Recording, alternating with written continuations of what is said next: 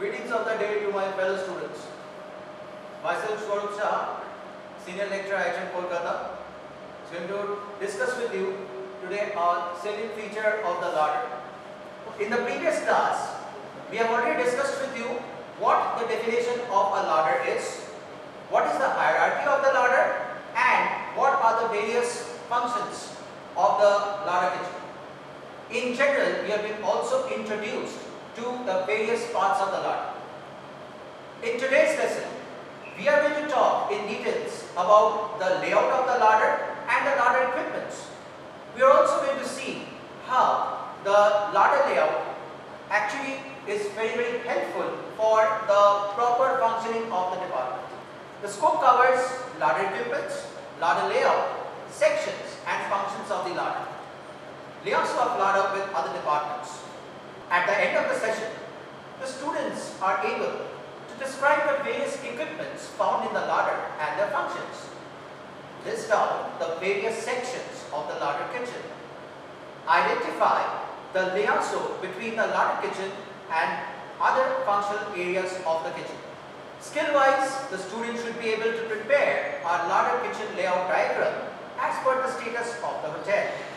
As per the mindset is concerned, the student should be able to appreciate the importance of the larder layout, proper placement of equipment and their uses.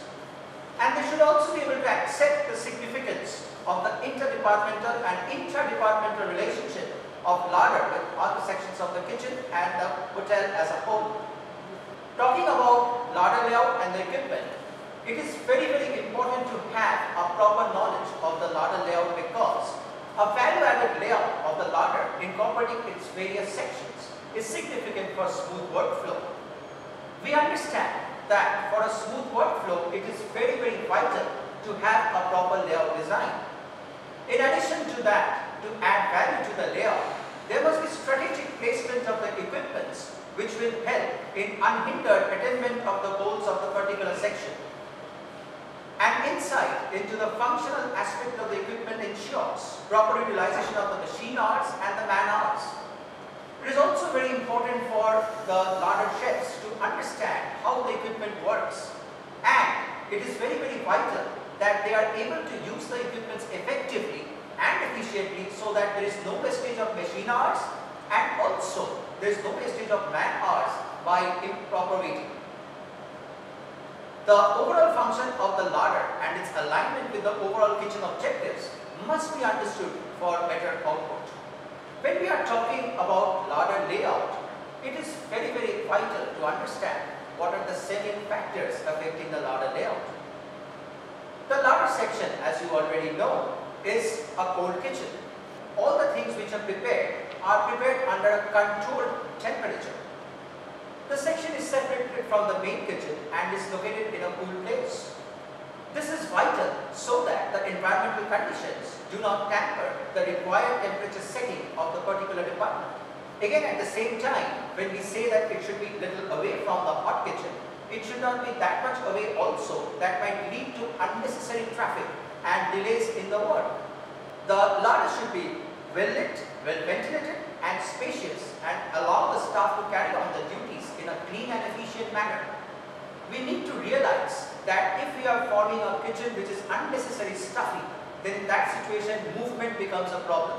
And when movement becomes a problem, it is clear that the workflow will not be smooth. If the workflow is not smooth, it will lead to delays, it, will, it might also lead to frustration. It must be able to store, prepare foods and buffet in a cool and hygienic manner we need to understand that all the FSSAI laid down standards must be followed as far as the storage of the cold food is concerned. We must be doubly careful about the things which we handle in the larder because most of the things which we handle are high risk food items. Keeping the knowledge of danger zone in mind, it is very very important for us to realize there must be proper storage space for each category of the food. And at the same time, we must also understand that the cooked food and the raw food should not cross each other because that is very much against the hygienic workflow. It must be equipped with necessary fittings, plant, machinery, tools in accordance with the volume of the business. it is important that when we are placing a particular equipment in a larder, we also understand the necessity of the equipment and the kind of output which we need. Definitely, the volume which the equipment can handle will depend on the output given by the particular section. With all these factors in mind, let us now focus on a sketch of a larder layout. What we see in the sketch is the reflection of the various sections which are predominantly present in a five-star hotel larder. As we take entry to the larder section, there is a hand wash area located near the chef's office. The sections of the larder are located side by side one after the other with strategic location of the refrigerators. We should be taking care that the equipments which are placed in the larder should be synchronous with the type of job which is done in the larder. For example, we have a fish and the shellfish fabrication area, we have got a meat fabrication area, followed by a salad area and we have got the walk-in refrigerator nearby. The reason for such a location is that, so whatever is processed in these sections can easily walk into the refrigerator to be taken out at the required time. As I mentioned earlier that we should be very careful with the raw materials which we are handling in the larder because most of them are high risk food items. Apart from that, we also have got a charcuterie section with a carving section and a hors d'oeuvres or appetizer section. Now these sections are located in such a way that the sections can work harmoniously amongst each other. As far as the placement of the equipments are concerned, the layout shows the placement of the equipments towards the wall. Now, instead of this, a different layout can be done where the equipments can be centrally placed and all other working areas can be wall facing. Depending on the total overall area available, depending on the equipments which we are installing in the larder and depending on the workflow, this can be adjusted. The flexibility of the larder kitchen should be such that there should be a smooth workflow. When we are talking about various sections, the section should be placed in such a way that there is no overlap of work. After focusing on the larder layout, let us have a look at the various sections of the larder. We've got a sauce section, a salad section, a sandwich section, a charcuterie section, carving section, appetizers and hors d'oeuvres, and meat pre-preparation area. When we are talking about the various sections, we are going to talk about the intra-departmental relationship which exists between the larder and various other parts of the kitchen. Sauce section, for example, prepares the mayonnaise sauce. The mayonnaise sauce is required in several other areas and also in the larder itself, in the sandwich section, or for making of salads. The salad section mainly focuses on preparation of different kinds of salads, their dressings. The sandwich section prepares different kinds of sandwich. The charcuterie section mainly deals with the pork products, the sausages, the pate, terrine, galantine, ballotine, etc. can also be handled over here. Although strictly charcuterie traditionally is believed to handle only the pork products. But as a flexibility of the modern operations, this kind of work can be merged depending on the hotel policy. There is a carving section. Carving section deals with the carving of various kinds of fruits and vegetables which can be used as centerpieces, can be used as garnishes and that also can be required in various departments. Appetizers and hors d'oeuvres mainly deal with starters starters and appetizers. Meat pre-preparation area. The meat pre-preparation area can be further subdivided into fish and shellfish preparation area and the other white meat and red meat preparation area. One has to be very very careful while working on this section because they are handling raw meat which is again a very very high risk item. The batch of the meat which is to be handled the batch size must be according to the skill level of the worker. According to hygiene practices, normally we should not put a batch of meat outside the refrigerated area for more than 45 minutes. In that situation, the batch size must be such that the person should be able to fabricate and process the meat taken out of the refrigerator within 45 minutes.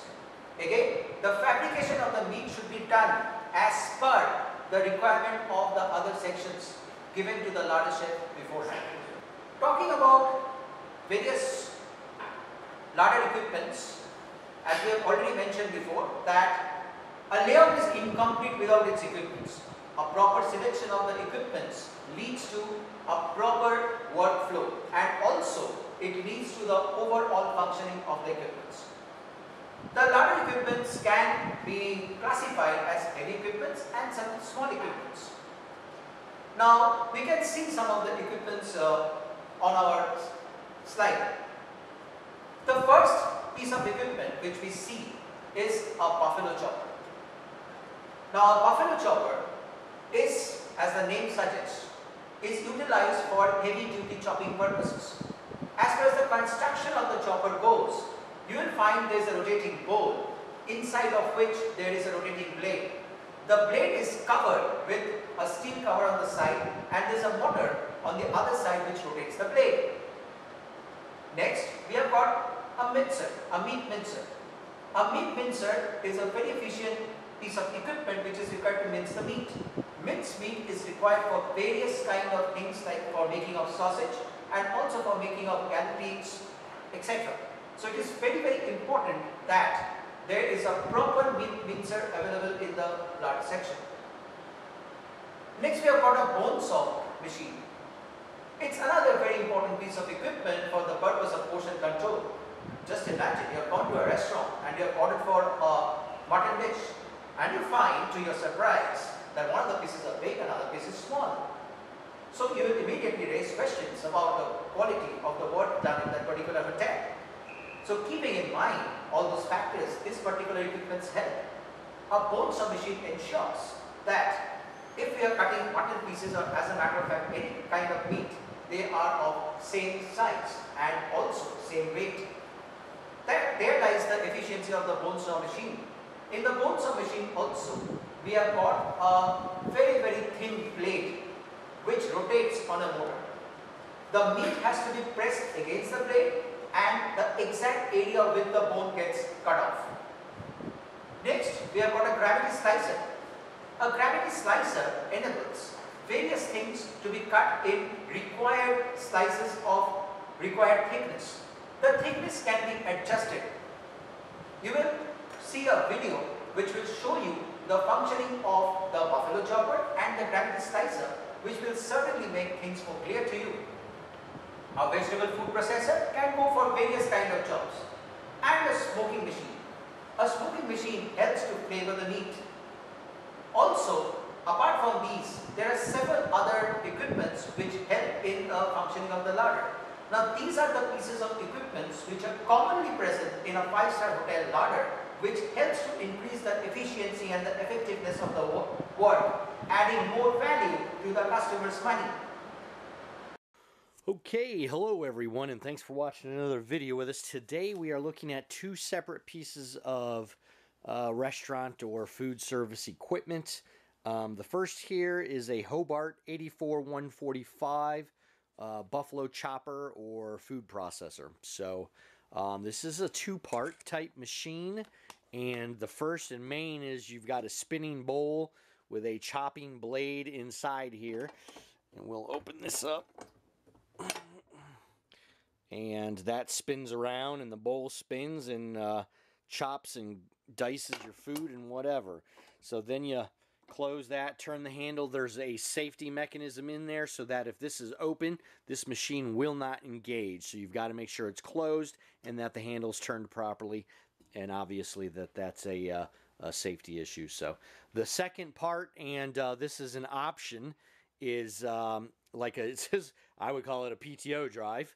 Um, and if you're not using this option, you simply uh, can pull this Pelican head attachment off and uh, you can set it aside so that it's not in your way um, if that's the case. But what you've got is, and indeed what they call a pelican head attachment, because this is shaped like a pelican's beak, kind of. Um, this is a uh, slicing, grating, uh, food processing attachment, and obviously your food items go in there, and then you close that, and um, as you can see right here, you've got a slicing blade on this one, so you would be uh, slicing or chopping uh, whatever it is that you put in there. So, um, anywho, both of those uh, items are going to run when the machine is on. So again, if you're not using this attachment, you simply pull the whole thing off and then uh, you don't have to worry about it. Now, um, when you're looking at these machines on eBay, keep in mind that most, if not all of them, don't come with the uh, Pelican head attachment included. Ours does, and for our price, which includes shipping um, to uh, any uh, commercial location in the lower 48 with a dock or a forklift, um, you know, you're you're getting a hell of a deal with us. Um, we do have uh, an option for residential shipping, but that's going to cost um, the buyer a little bit more. So, anywho, um, that's it, and we'll go ahead and, and basically this is a pull start, uh, push stop uh, setup. You can see there's your uh, slicing or grating uh, blade that's turning in there. And you can't really see inside here. Um, and we can't lift that obviously. But we can, uh, we can tell you that we're 100% confident that this, uh, this machine is uh, in good operating condition. Now, with any machine, um, we would definitely recommend that you give it a full cleaning when you get it. Um, you know, we basically knock the dust off these items um, before we uh, get them ready for sale and ship them out. So um, before you process any food, you're going to want to clean them um, and, and, give them a full service as well. Uh, we don't know when the last time someone serviced this equipment. Um, we don't know when they were uh, lubricated, so on and so forth. So uh, make sure that you uh, take care of those two issues um, before you start using them. But as you can see, the bones are all there, high quality piece of equipment, and uh, at a fraction of the cost. So um, now we're going to move on to equipment piece number two, and we're going to get this cord over here and get it ready to plug in. And the second piece of equipment is indeed a Hobart Edge 134054 uh, manual slicer. And uh, it's a manual slicer because you have to manually uh, you know, move that slicing platform. They do make automatic slicers. They tend to be quite a bit more money. Um, but uh, for those of you who don't mind a manual slicer, Hobart makes some of the best equipment in the world. So you've got a, uh, uh, a, a, knife gauge right here adjustment, and of course that works. Um, the the uh, platform slide uh, moves back and forth without issue. A um, couple of things over here we want to mention. One is there's a cover that goes over this. And um, it is a safety issue because obviously your spinning blade is right there and that is exposed without that cover. We do not have that cover, but we have already checked and those covers are readily available online um, without issue. So um, the second is this is the uh, knob that you uh, loosen and tighten to take off the blade guard, which is right here for cleaning and whatnot service. Um, as you can see, a portion of the one end of that knob is missing. It does still tighten and loosen without issue, so not a problem. So we just wanted to point those two items out to you. Um, now I'm going to set this down really quick. We're going to plug this in so that you can see that the old slicer turns like it's supposed to. Nice and quiet, um, nice and solid. Blade's in good condition. Um, it is bouncing a little bit, and that's because of the table we've got it sitting on doesn't have a lot of support underneath this slicer, which is extremely heavy. So, um, but anyways, that's it. Again, um, we do recommend a complete cleaning and a service before you um, start utilizing these pieces of equipment, but uh, um, we guarantee that you're getting something that's got all the good bones there and is in uh, good working order and just needs a basic cleaning and a service. Another very important piece of equipment which is required in a larder, in fact without which larder equipment set is incomplete are the various sets of refrigerators. The walk-in refrigerator, the deep freezer cabinets, four-door refrigerators, these are very commonly found refrigerators used in the larder. Now, as larder is a cold kitchen, we understand from the nature of the work itself the importance of the refrigerators. Different capacities, different types to be placed at strategic points in the larder so as to ensure that proper storage can be done. While refrigerator storage, we have to ensure certain basic things that the refrigerators are not overstuffed. There should be an opportunity for proper cold air circulation. At the same time, we must also take care of the fact that refrigerator should be cleaned from time to time. We should also take care of the fact that raw materials and cooked materials should not be put in the same refrigerator cabinet. All the hygienic practices which are related to the refrigerator should be maintained from time to time to ensure there is no cross contamination from these very important pieces of equipment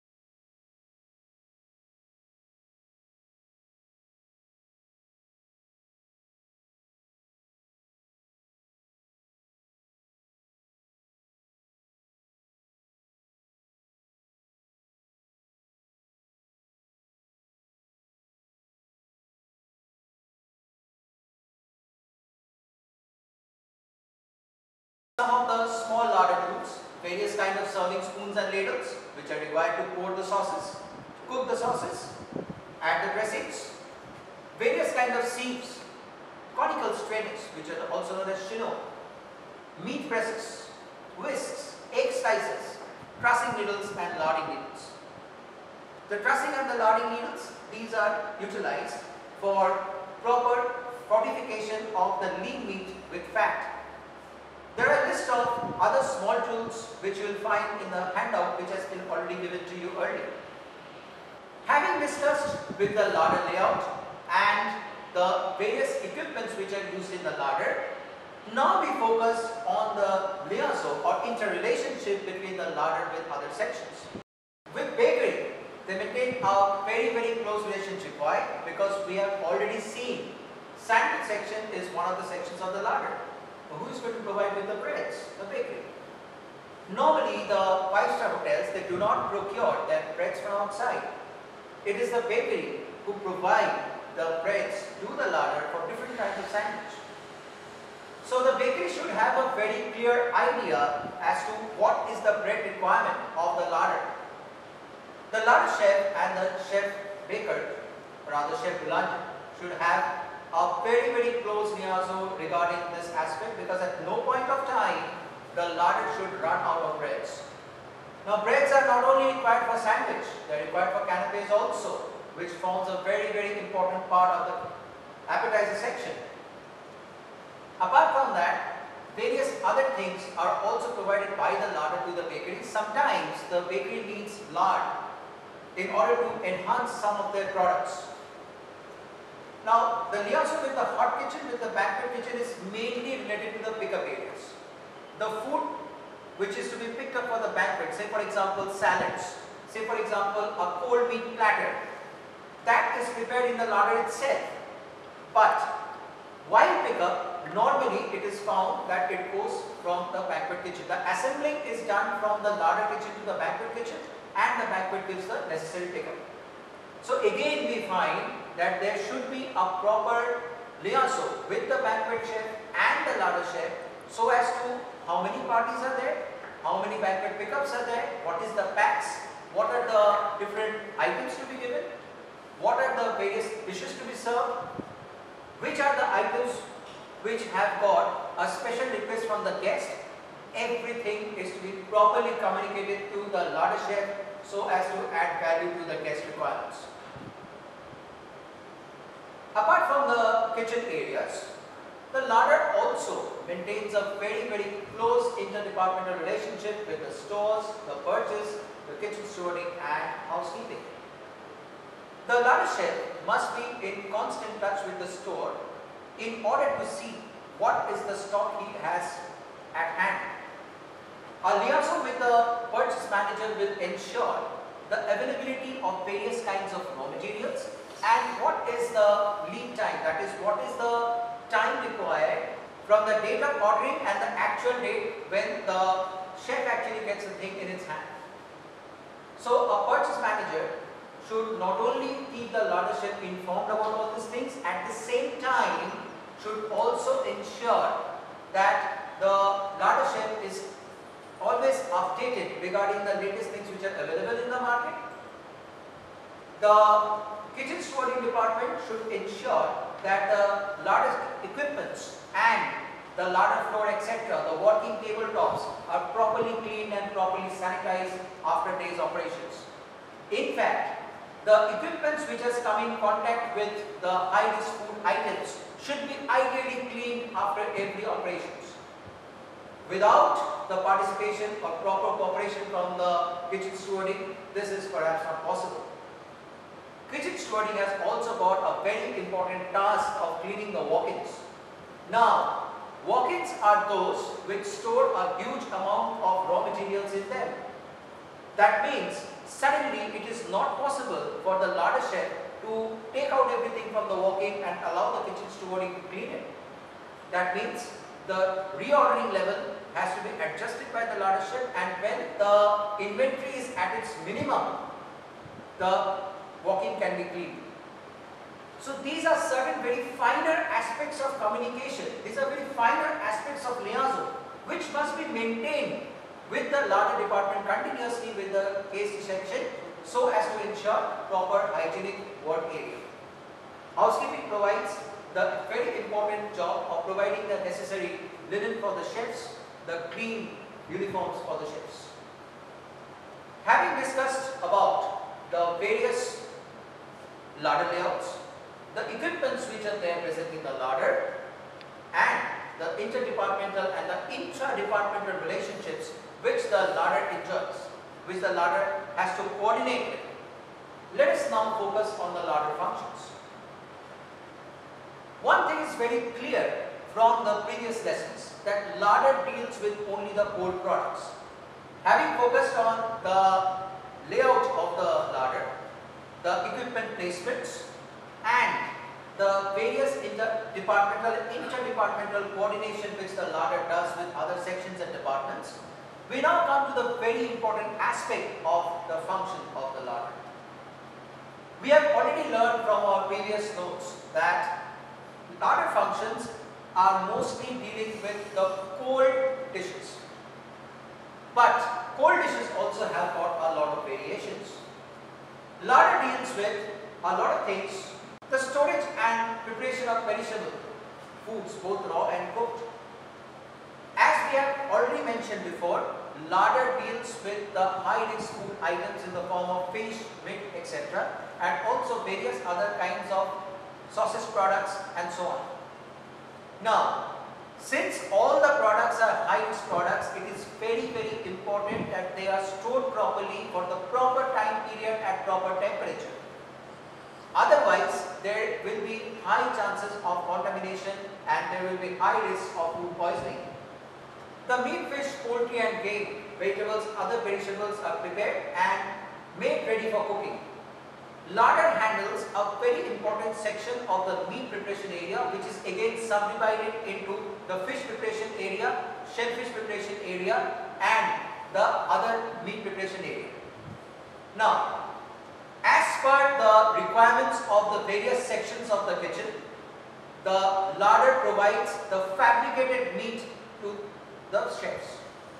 Now it is important that the larder maintains a proper work schedule such that the respective chefs can be handed over the fabricated meat over a proper period of time. All the preparations of salads, salad dressings, cold sauces, mainly mayonnaise and its derivatives, various kinds of brines, cures, marinades are all prepared in the larder. Apart from this, the cheese work, the cheese platter various kinds of products which are made out of cheese which also fall under the larder section. The preparation of various kinds of appetizers about which you will learn in a later lesson. The cold meat and the fish dishes. The cold dishes include the galantines, the ballotines, the terrines. The terrine, part of a terrine is prepared in the larder and then it is finished differently. Apart from that, foie gras or delicacy is also prepared by the larder. Handling of exotic products like that of caviar is also the responsibility of the larder. Apart from these functions, the larder also caters to the banquet section. As we have already mentioned in the liaison, the banquet chef must be in constant touch with the larder chef so as to ensure that the larder chef can give a proper pickup of the salads, the cold meat platters and the other related item as per the requirements of the guests. Now having come to the end of this discussion, these are certain problem questions which you will be finding in your question papers. You can go through the presentation which will be shared with you and you can also go through the notes which will provide you an insight into these questions.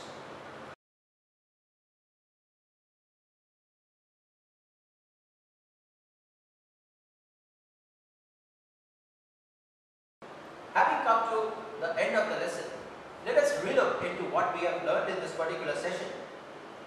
A proper layout of the larder is significant for its smooth functioning in a flawless and hygienic manner.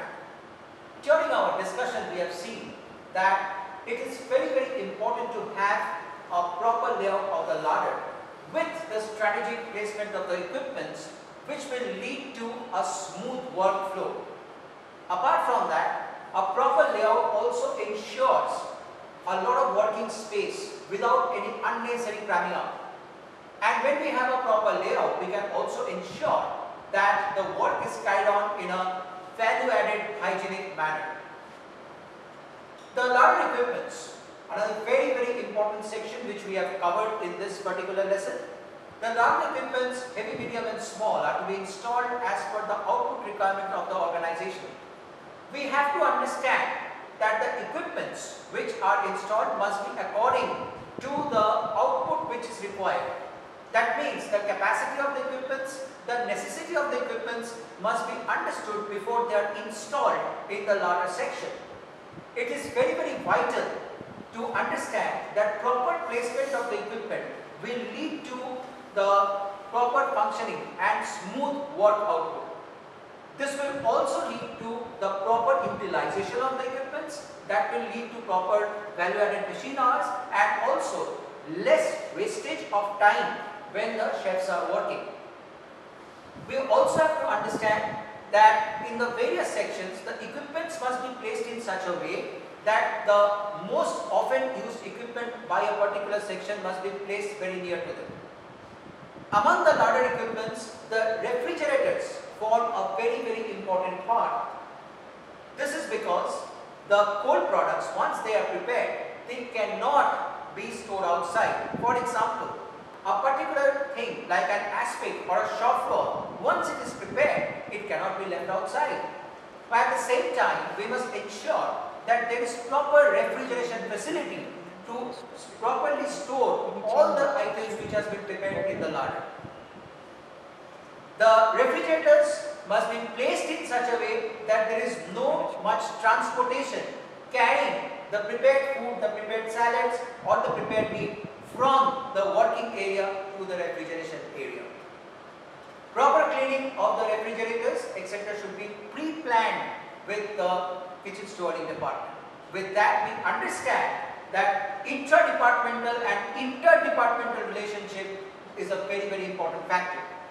The various sections of the larder must work in a close-knit manner and maintain value-added intra and inter-departmental relationships for carrying out their functions in a quality-oriented manner. There must be proper communication between various departments and various sections. The larder chef must communicate to the various sections that what are the various items to be prepared and picked up and what are the schedules so that the section in charges can plan and schedule their work properly. They can procure their raw materials, process them and keep them ready for a fabulous guest experience. With that, we come to the end of this particular session.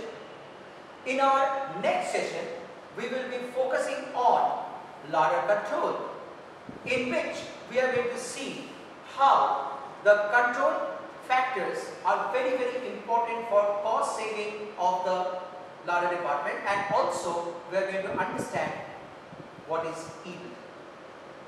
This is uh, Swarup Saha completing the lecture on larder equipments and layout.